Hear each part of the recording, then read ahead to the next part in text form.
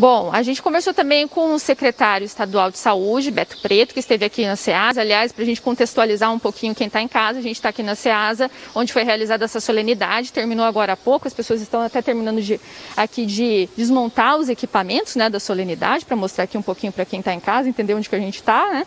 Então, foi aqui que foi realizada a solenidade, agora há pouco, já encerrou. E nessa solenidade, o secretário estadual de saúde, Beto Preto, estava presente também. E ele também está otimista, mas foi um pouco mais cauteloso do que o governador Ratinho Júnior nesse sentido. Falou a respeito desses índices, que justamente existe essa expectativa da gente chegar em 85% da população com as duas doses da vacina até o final deste mês e que depois disso, dentro de 10, 15 dias, depois então de chegar nesse percentual, eles vão discutir justamente essa questão da flexibilização.